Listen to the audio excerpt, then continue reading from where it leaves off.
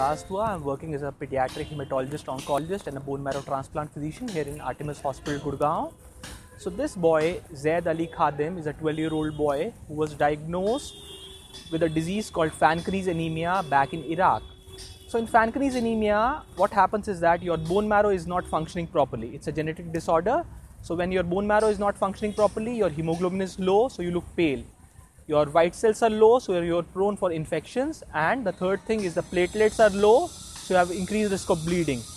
So the only curative option for a fan for a Fanconi's anemia is a bone marrow transplant.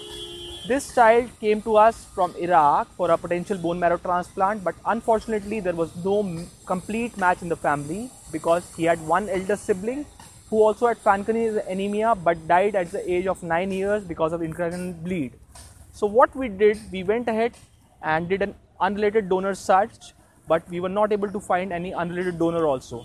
Then finally it was decided to do HLA typing of the parents and both parents were found to be having a 50% match with the patient. So the patient was 5 out of 10 match with the father and mother. We took father as a donor in this case after discussing the pros and cons of this transplant. So there are increased risk of infection, increased risk of graft versus host disease in half match transplants.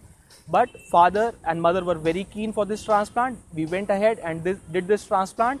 He engrafted very well in the post transplant period, though he had some complications like graft versus host disease of the gut and had BK virus reactivation. He had blood in urine, but eventually everything went well. Now it's been three months post transplant. The patient is doing very well. They are planning to go back to Iraq so what I would like to say is that if you don't have a match sibling donor and if you're not able to find an unrelated donor also, then it's better to go for a half match transplant. Sayyid Ali, inka beta hai Mohammed Sayyid, Iraq, Allah se aaye. Aur Dr. Vikas ne Artemis Hospital mein inka Fanconi anemia ka treatment kiya. Abhi ye acha hai, inka transplant successful hai.